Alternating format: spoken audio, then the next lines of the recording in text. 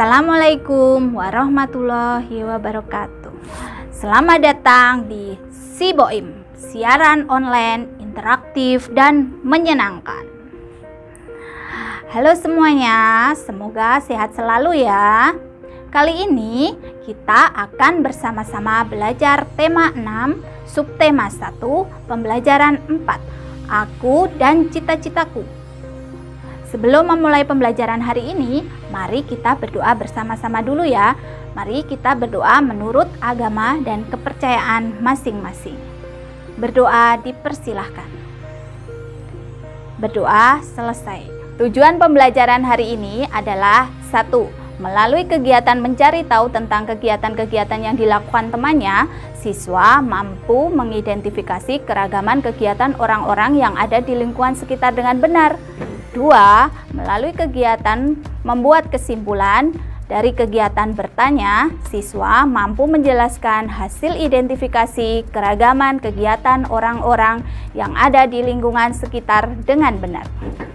Yang ketiga, melalui kegiatan mencermati puisi yang dibacakan yang dibacakan temannya dan menuliskan makna tiap baitnya, siswa mampu menjelaskan makna puisi dengan benar. Yang keempat, melalui kegiatan mencari informasi dan berdiskusi, siswa mampu mengidentifikasi hubungan, karakteristik, ruang dengan sumber daya alam yang ada di lingkungannya. Hai teman-teman, namaku Nafila, aku kelas 4 Hari ini aku ada pelajaran daring da dari Zoom. Yuk ikuti pelajaranku tapi shh, jangan berisik ya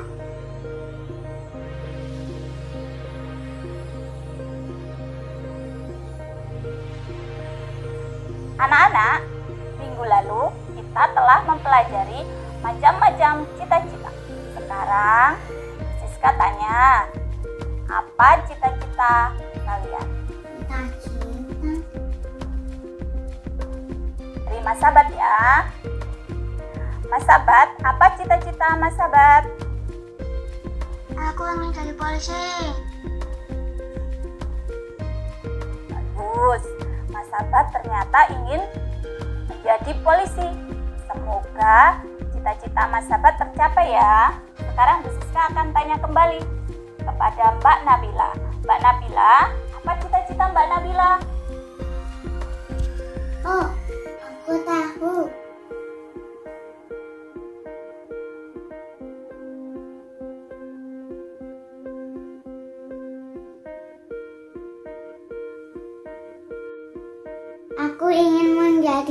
Astronot, Bu. Aa, cita-cita tak jadi astronot. Wah, hebat sekali. Ternyata Mbak Nabila ingin menjadi astronot. Semoga cita-cita Mbak Nabila tercapai ya teman-teman. Tiap individu memiliki cita-cita dengan alasan masing-masing.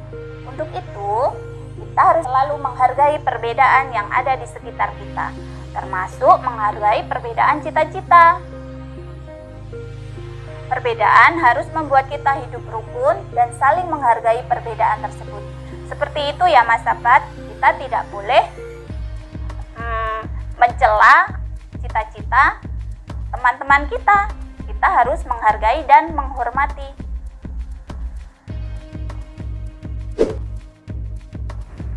Tadi kita telah mendengar macam-macam cita-cita teman kita. Ada yang ingin jadi astronot, ada yang ingin jadi polisi, ada yang ingin jadi mungkin dokter. Nah, anak-anak di rumah kira-kira cita-citanya ingin menjadi apa saja? Ayo. Hah? Bagus, ada yang ingin mungkin ada yang ingin jadi pilot, masinis, guru, dan sebagainya. Bu Siska doakan semua cita-cita yang kalian yang kalian inginkan dapat terwujud ya. Amin. Nah, apakah di sini ada yang bercita-cita menjadi petani sukses? Sekarang Bu Siska mau membacakan puisi yang berjudul Jasa Petani. Jasa Petani. Kala mentari muncul kau sudah bekerja keras untuk menghidupi keluargamu, untuk kebutuhan masyarakat. Begitu banyak yang korba, kau korbankan, mulai dari waktumu, tenagamu, dan keuanganmu. Semua kau lakukan demi masyarakat. Pada waktu padi menguning, kau harus menjaga sawahmu dari tikus, burung, dan yang mengganggumu. Terima kasih, oh petani, atas semua jasa-jasamu. Setelah Bu Siska membacakan puisi, dan kalian telah memperhatikan puisi tersebut, coba ayo bersama-sama kita mencari apa makna yang terkandung dalam puisi di atas. Sebelum kamu dapat menjelaskan makna puisi, ada beberapa hal yang harus kamu perhatikan. Pertama, kamu harus membaca puisi tersebut dengan seksama. Kedua, kamu harus membaca setiap baris dalam bait puisi dengan cermat. Ketiga, catatlah hal-hal pokok yang disampaikan. Kemudian, yang terakhir, susunlah catatan-catatan tersebut dalam sebuah tulisan dengan bahasamu sendiri. Mari kita jelaskan makna puisi tersebut mulai dari per bait. Untuk bait pertama, dalam puisi Jasa Petani, maksud bait pertama adalah saat pagi hari petani sudah mulai pergi ke sawah, kemudian petani mulai bekerja mengolah sawahnya. Petani bekerja membanting tulang untuk mencukupi kebutuhan keluarganya. Selain mencukupi kebutuhan keluarganya, petani juga memproses padi yang ditanamnya menjadi beras untuk mencukupi kebutuhan masyarakat. Kedua, maksud bait kedua. Untuk menghasilkan padi yang bagus, petani banyak mengorbankan waktu, tenaga, dan tentunya keuangan. Semua itu dilakukan agar masyarakat dapat menikmati hasil padi dan beras yang bagus. Maksud bait ketiga, saat padi menguning adalah tanda waktu panen telah tiba. Petani harus tetap menjaga sawahnya dari ancaman tikus, warang, burung, dan yang lain-lain. Sungguh besar sekali ya jasa-jasa petani. Terima kasih semua jasa petani. Setelah kita memaknai puisi per bait dari bait pertama sampai bait ketiga, kita akan menjelaskan seluruh makna puisi. Makna puisi yang berjudul Jasa Petani adalah saat pagi hari petani sudah mulai pergi ke sawah. Petani mulai bekerja mengolah sawahnya. Petani bekerja membanting tulang untuk mencukupi semua kebutuhan keluarganya. Selain untuk mencukupi semua kebutuhan keluarganya, petani juga memproses padi dan mengolahnya menjadi beras yang berguna untuk mencukupi kebutuhan masyarakat. Untuk menghasilkan padi yang bagus, petani banyak mengorbankan waktu, tenaga, dan tentunya keuangan. Semua itu dilakukan agar masyarakat dapat menikmati hasil padi dan beras yang bagus. Saat padi telah menguning, tanda waktu panen telah tiba, petani harus tetap menjaganya. Menjaga sawah dari ancaman tikus, wereng, burung, dan lain sebagainya. Sungguh besar jasa petani. Terima kasih semua jasa petani. Jasa petani sungguh luar biasa bagi kehidupan kita. Padi adalah tanaman yang mudah kita jumpai di sekitar kita dan jumlahnya banyak.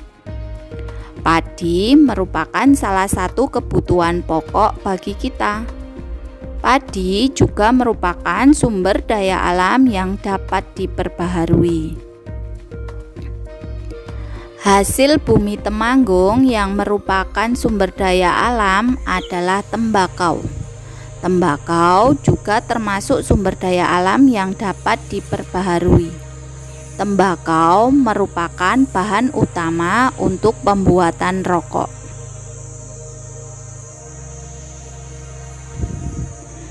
Selain padi, tembakau yang termasuk jenis tumbuhan ada juga hewan. Hewan merupakan sumber daya alam yang dapat diperbarui karena dapat berkembang biak. Tetapi sumber daya alam ini dapat habis atau punah jika pemanfaatannya tidak terkendali. Air dan udara juga merupakan contoh sumber daya alam yang dapat diperbaharui. Karena air dan udara melakukan siklus atau daur ulang. Air dan udara tidak dapat punah, tetapi kualitasnya akan menurun jika kita tidak menjaganya dengan baik. Ini merupakan gambar tambang emas yang ada di Indonesia, tepatnya di Freeport, Papua. Emas merupakan barang tambang yang termasuk sumber daya alam yang tidak dapat diperbarui karena jumlahnya terbatas.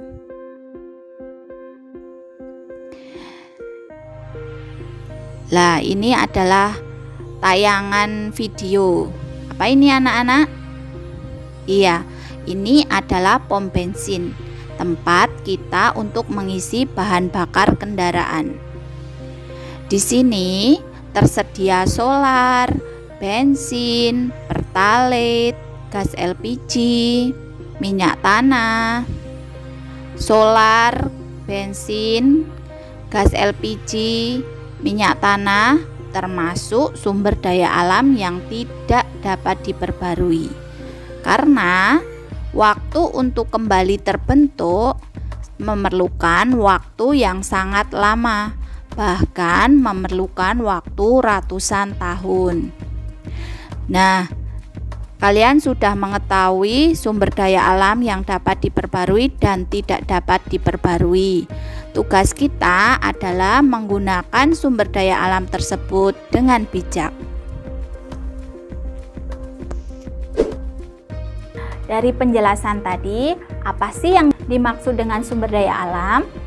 Sumber daya alam adalah semua kekayaan alam yang ada di bumi yang berguna untuk memenuhi kebutuhan manusia. Sumber daya alam itu sendiri dibagi menjadi dua, sumber daya alam yang dapat diperbarui dan sumber daya alam yang tidak dapat diperbarui. Sebelum kita mengakhiri kegiatan ini, mari kita simpulkan apa saja materi yang telah kita pelajari hari ini. Yang pertama, tadi kita telah mem mempelajari macam-macam perbedaan cita-cita. Yang kedua, kita mempelajari makna puisi. Masih ingat tidak cara mencari makna puisi? Yang pertama, kalian harus membaca puisi dengan seksama. Yang kedua, kalian harus membaca setiap bait-bait puisi dengan cermat. Yang ketiga, catatlah hal-hal pokok yang disampaikan. Yang keempat, susunlah catatan-catatan tersebut dalam sebuah tulisan dengan bahasamu sendiri. Kegiatan ketiga, kita telah mempelajari tentang sumber daya alam. Sumber daya alam adalah kekayaan yang ada di bumi yang berguna untuk memenuhi kebutuhan hidup manusia. Sumber daya alam sendiri dibedakan menjadi dua, sumber daya alam yang dapat diperbarui dan sumber daya alam yang tidak dapat diperbarui. Nah, itulah pembelajaran kita hari ini. Mari kita berdoa bersama ya. Berdoa menurut agama dan kepercayaan masing-masing. Mulai.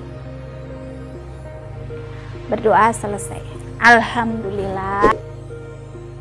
Jangan lupa jaga kesehatan dan patuhi protokol kesehatan 4M. 1. Mencuci tangan dengan sabun. 2. Memakai masker. Ketiga, menjaga jarak aman. 4 menghindari kerumunan. Semoga semuanya tetap sehat selalu ya di rumah. Tetap semangat belajar di mana saja, kapan saja kalian luar biasa. Wassalamualaikum warahmatullahi wabarakatuh.